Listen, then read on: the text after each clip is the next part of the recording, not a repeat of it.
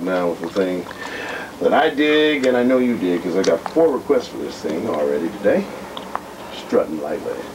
That was KBOO volunteer disc jockey George Page. Page has been playing jazz and popular black music on KBOO for the past 12 years. What I do to the audience, I draw hopefully, is to please them with all types of black music. Mostly what you can't hear as a rule on uh, larger black oriented stations in LA or San Francisco. I play a lot of blues and a lot of jazz.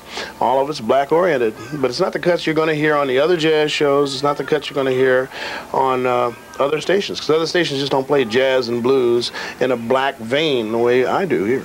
One of the main reasons for KBOO's appeal is it programs music seldom, if ever, heard on Portland commercial stations. KBOO provides a 24-hour diet of classical, jazz, blues, Middle Eastern, reggae, disco, country, and even rock, flavored sometimes with a dash of live local bands.